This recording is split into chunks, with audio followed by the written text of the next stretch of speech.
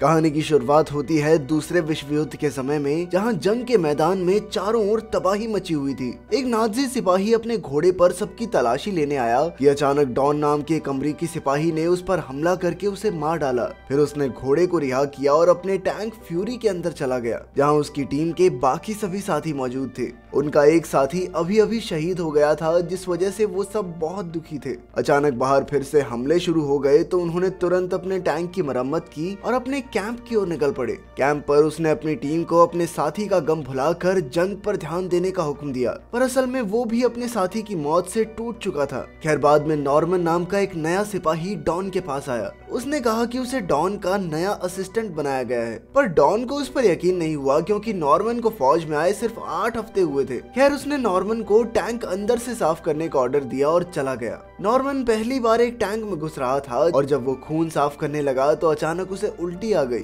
तब डॉन ने आकर कहा कि यूँ कमज़ोर बनकर काम नहीं चलेगा। उसे अपने देश के लिए हर एक नाथसी सिपाही की जान लेनी होगी। नॉर्मन ने कहा कि उसने आज तक किसी को नहीं मारा तो डॉन ने उसे एक बंदूक पकड़ाकर गोली चलाने सिखाई। इसके बाद डॉन ने उसे अपनी टीम के अगले मिशन के बारे में बताया। फिर वो सब टैंक में बैठकर मिशन के लिए निकल पड़े। रास्ते में कई नाजी लोग अपने घर छोड़कर सुरक्षित जगहों पर जा रहे थे। पर डॉन और उसके साथियों ने किसी को नुकसान नहीं पहुँचाया, क्योंकि उनकी लड़ाई सिर्फ़ फौजियों से थी। अचानक नॉर्मन को पेड़ों में दुश्मन छिपे दिखाई दिए, पर वो बंदूक चलाने से घबरा रहा था। दुश्मनों ने मौका देखते ही उन पर हमला कर दिया और सामने वाले टैंक का एक सिपाही मारा गया। तब डॉन ने तुरंत दुश्मनों का पीछा करके उन्हें मौत के घाट उतार दिया। ये कोई फौजी नहीं, बल्कि छोटे बच्चे थे। खैर, वापस लौटकर उसने नॉर्मन को खूब डांटा, क्योंकि उसकी लापरवाही की वजह से उनके एक साथी की मौत हो गई थी। अब डॉन सबको साथ लेकर मंजिल की ओर बढ़ा और कुछ समय बाद वो वहाँ पहुँच भी गए। एक सिपाही डॉन से मिला और उसे कैप्टन वैगनर के पास ले आया।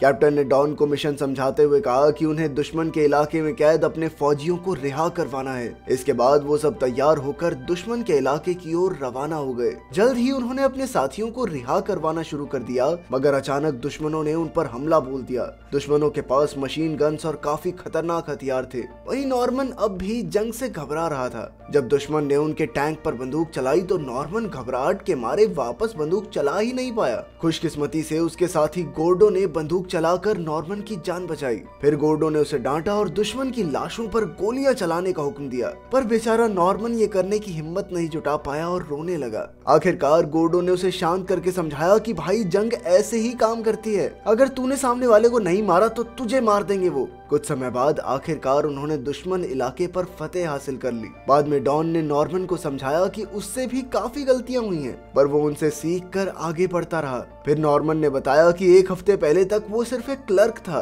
पर जंग की वजह से उसे ज़बरदस्ती फौज में भेज दिया गया। इसके बाद उनके साथियों ने एक नाजी सिपाही को पकड़ा, जो उनकी टीम में भेस बदल कर घुसाया था। अब डॉन ने नॉर्मन को इस फौजी को गोली मारने का हुक्म दिया। जब नॉर्मन नहीं माना तो डॉन ने ज़बरदस्ती उसके हाथ में बंदूक थमाकर उससे गोली चलवा दी। आखिरकार उस फौजी की मौत हो गई और नॉर्मन बुरी तरह डर गया। इसके बाद वो सब आगे बढ़े तो रास्ते में उन्हें कई लाशें टंगी हुई दिखाई दी। असल में ये उन जर्मन लोगों की लाशें थी जिन्होंने जंग में हिस्सा लेने से इनकार कर दिया था। खैर, जल्द ही वो दूसरे शहर में पहुँचे और वहाँ छुपे जर्मन फौजियों को ढूँढने लगे। अचानक दुश्मनों ने उन्हें देख लिया और दोनों तरफ़ से धुआंधार गोलीबारी शुरू हो गई। खैर, आखिर में जैसे तैसे डॉन और उसके साथ ही शहर पर कब्जा करने में कामयाब रहे। उन्होंने बच्चों और औरतों को रिहा कर दिया और फिर अपनी जीत का जश्न मनाने लगे। कुछ फौजियों ने तो अपना टाका भी भिड़ा लिया और इधर डॉन ने नॉर्मन को शाबाशी दी। क्योंकि इस बार उसने अपना काम बखूबी किया था। तभी उसकी नज़र सामने वाली खिड़की से झांकती हुई एक लड़की पर पड़ी। वो दोनों तुरंत उसके घर पहुँचे तो पता चला कि उसका नाम अमा था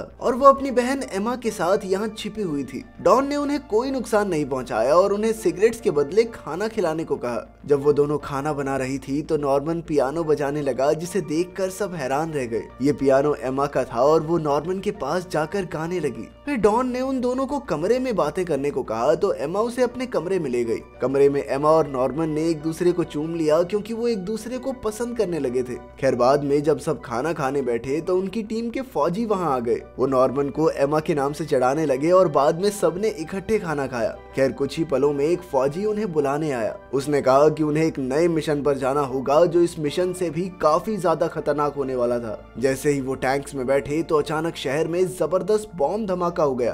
अमा और एमा का घर वहीं मिट्टी में मिल गया और नॉर्मन तुरंत उनकी ओर दौड़ा। पर अब बहुत देर हो चुकी थी क्योंकि एमा मलबे में दबकर मर गई थी। नॉर्मन का दिल बुरी तरह टूट गया, पर अब उसने ठान ली कि वो नाजियों का खात्मा करके रहेगा। उसका एक साथी जैसे तैसे उसे टैंक में ले गया और सारे फौजी निकल पड़े। नॉर्मन अब भी सदमे में था, इसीलिए डॉन ने उसे समझाया कि यही जंग की सच्चाई है और वो इसे जितनी जल्दी कबूल कर ले, उतना बेहतर होगा। अब वो रास्ते में थे कि अचानक दुश्मनों ने उन पर हमला बोल दिया। नाजियों के टाइगर टैंक्स उनसे कहीं ज़्यादा ताकतवर थे, इसीलिए उनका सामना करना डॉन की टीम के लिए बहुत मुश्किल हो रहा था। जल्द ही दुश्मनों ने अमरीकी फौज के दो सार्जेंट्स को बड़ी बेरहमी से मार डाला। अब डॉन का टैंक फ्यूरी, अकेला टाइगर टैंक का सामना कर रहा था। डॉन ने दिमाग लगाकर बड़ी सफ़ाई से वार किए और आखिरकार टाइगर को हराकर दुश्मनों का खात्मा कर दिया। फिर डॉन ने अपने ऑफिसर्स को मौजूदा हालातों की खबर देनी चाहिए लेकिन उनका रेडियो टूट चुका था। उनके साथ ही टैंक्स के सभी सिपाही मारे जा चुके थे, पर उन्होंने अपने दुख को हंसकर टाल दिया और साथ ही एक दूसरे का हौसला बढ़ाया। जल्द ही वो आगे बढ़े और अपनी मंजिल तक पहुँच गए। पर वहाँ पहुँचते ही एक लैंड माइन फट गई और उनके टैंक के नीचे की जंजीरें टूट गई।